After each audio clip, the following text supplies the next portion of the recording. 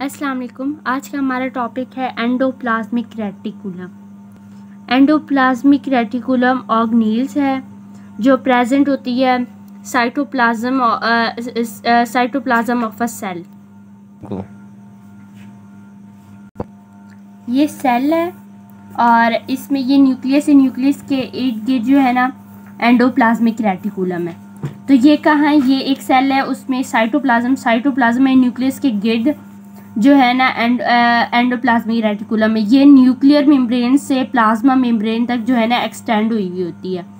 और इसमें दो टाइप जो है ना एंडोप्लाज्मिक एक रफ होता है, एक जो होता है, एक रफ एंडोप्लाज्मिक रेटिकुलम होता है और एक स्मूथ एंडोप्लाज्मिक रेटिकुलम अब ये न्यूक्लियस है, ये रफ एंडोप्लाज्मिक रेटिकुलम है, ये स्मूथ एंडोप्लाज्मिक रेटिकुलम है। ये एलोंगेटेड सेक्स हैं। ये एक स्पेरिकल वेजिकल है। इसको इलोंगेट कर दे। इलोंगेट मीन लेंथ में ज़्यादा हो, लेकिन विथ जो है वो कम हो। और इनको इंटरकोनेक्ट कर दे। ये न्यूक्लियस है।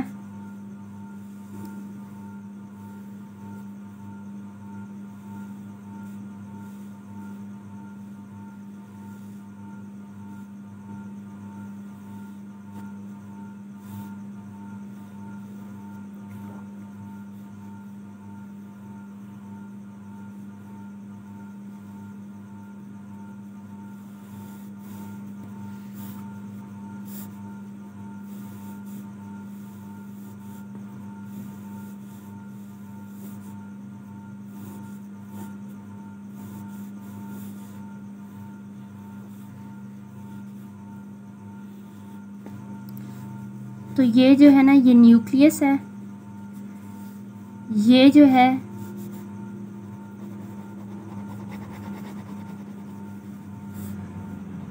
जो कलर पोर्ट पोर्शन है।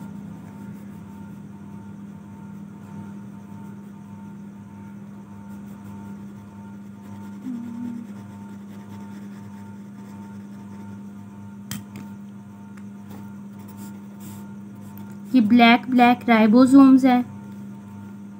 तो ये ब्लैक ये जो है रफ एंडोप्लाज्मिक रेटिकुलम है। ये ये रफ एंडोप्लाज्मिक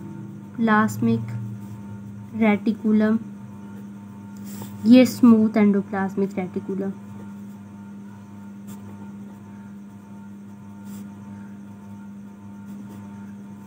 ये रा, ये रफ़ क्यों है और ये स्मूथ क्यों है? इसलिए कि जो ये है ना ये रफ़ अपीयर होता है ये स्मूथ अपीयर होता है। इसमें राइबोसोम अटैच होते हैं और इसमें राइबोसोम नहीं होते। तो जो है ना ये इसमें जब राइबोसोम होते हैं तो राइबोसोम प्रोटीन साइंथिसिस करते हैं। जब इसमें राइबोसोम है तो वो प्रोटीन साइंथिसिस भी करेंगे। इसलिए जो रफ़ एंडोप्लाज्मिक होते हैं वो प्रोटीन साइंथिसिस करते हैं। स्मूथ एंडोप्लाज्मिक प्रोटीन्स जो है ना साइंटिसाइज नहीं करते, लेकिन इसके और भी बहुत से फ़ंक्शन हैं।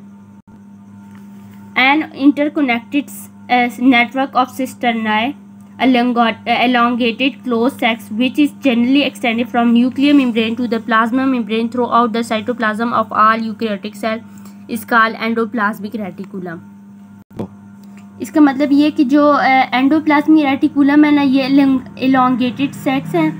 जो कहाँ से जो न्यूक्लियर जो न्यूक्लियर जो न्यूक्लियर मेम्ब्रेन से प्लाज्मा मेम्ब्रेन तक एक्सटेंड हुए हुए हैं। यहाँ तो नज़र नहीं आ रहा कि ये प्लाज्मा मेम्ब्रेन तक एक्सटेंड हुए हुए हैं, क्योंकि इसमें हम और भी चीज़ें दिखा रहे हैं। साइटोप्ला इसमें हम और भी ऑर्गनीज दिखा रहे हैं वैक्यूल्स गोल्जी ये सब दिखा रहे हैं। तो ये जो होते हैं ना ये वैसे प्लाज्मा मेम्ब्रेन तक एक्सटेंड हुए हुए होते हैं और ये यूक्रियोटिक सेल में होती है। यूक्रियोटिक वो होते हैं जिसमें मेम्ब्रेन बॉन्ड ऑर्गनील्स होती हैं।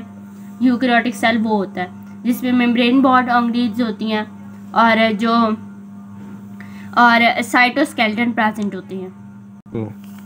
आगे एंडोप्लाज्मिक रेटिकुलम की दो टाइप्स हैं स्मूथ एंडोप्लाज्मिक रेटिकुलम और rough endoplasmic reticulum most cells contain both types of ER जो बहुत ज़्यादातर सेल होते हैं, वो दोनों जो है ना स्मूथ और रफ दोनों एंडोप्लाज्मिक रेटिकुलम कंटेन करते हैं। लेकिन कुछ सेल में ऐसा होता है कि जो स्मूथ एंडोप्लाज्मिक रेटिकुलम होते हैं, वो बहुत ज़्यादा होते हैं। For example skeletal muscles in skeletal muscles में जो होते हैं ना स्मूथ एंडोप्लाज्मिक रेटिकुलम वो बहुत ज़्यादा होते हैं। तो उनको हम कहते हैं सैक्रोप्लाज्मिक रेटिकुलम इन दोनों का डिफरेंस ये इसमें रफ एंडोप्लाज्मिक रेटिकुलम में अटैच राइबोसोम होते हैं स्मूथ एंडोप्लाज्मिक में राइबोसोम अटैच नहीं होते। इनकी रफ अपीयरेंस होती है अंडर इलेक्ट्रॉन माइक्रोस्कोप में और स्मूथ और जो स्मूथ एंडोप्लाज्मिक रेटिकुलम होते हैं उनकी स्मूथ अपीयरेंस होती है। जो जो जो रफ एंडोप्लाज्मिक रेटिकुलम होते हैं वो किससे कंसर्ट करते हैं? प्रोटीन साइंटिस से। क्यों? क्योंकि इसमें राइबोसोम होते हैं, राइबोसोम का काम होता है प्रोटीन साइंटिसाइज करना। तो इसलिए रफ एंडोप्लाज्मिक क्या करते हैं? प्रोटीन साइंथिसिस से कंसर्न करते हैं। और जो स्मूथ एंडोप्लाज्मिक रेटिकुलम होता है, उसका क्या फ़ंक्शन होता है?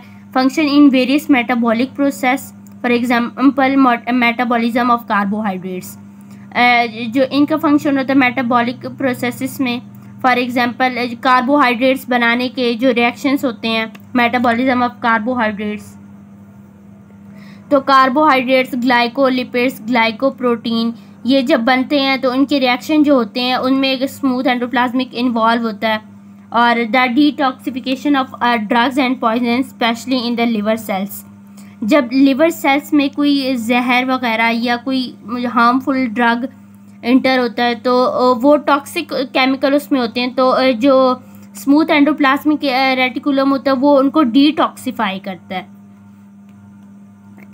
synthesis of lipids including oils, phospholipids, steroids take place in smooth ER जो लिपिड्स को और जो स्मूथ एंडोप्लाज्मिक रेटिकुलम होता है, वो लिपिड्स को भी बनाता है।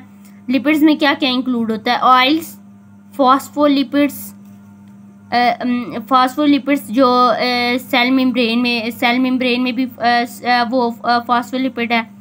तो ये उनकी तैयारी में बनाता है और स्टीरॉयड स्टीरॉयड एक हार्मोन है। और ये किसमें होता है? स्मूथ एंडोप्लाज्मिक रेटिकुलम में होता है। ये क्या करता है कि कार्बोहाइड्रेट्स की के मेटाबॉलिक प्रोसेसेस में इन्वॉल्व होता है। और उनमें फ़ंक्शन करता है। लिवर सेल्स में जो पॉइजन और ड्रग्स होती हैं, उनको डिटॉक्सीफाई उसमें जो टॉक्सिक केमिकल होते हैं ना पॉइजन और ड्रग्स में, उनको डिटॉक्सीफाई करता है। और और ये लिपिड्स की सेंथिसिस करता है, जिनमें ऑयल फॉस्फोलिपिड एंड स्टीरॉइड्स जो हैं, वो बनते हैं स्मूथ एंडोप्लाज्मिक में। फ़ंक्शन अब ये रफ एंडोप्लाज्मिक है। रफ एंडोप्लाज्मिक क्या करता है? Provide mechanical support to the cell ये क्या करता है? मैकेनिकल सपोर्ट देता है सेल को।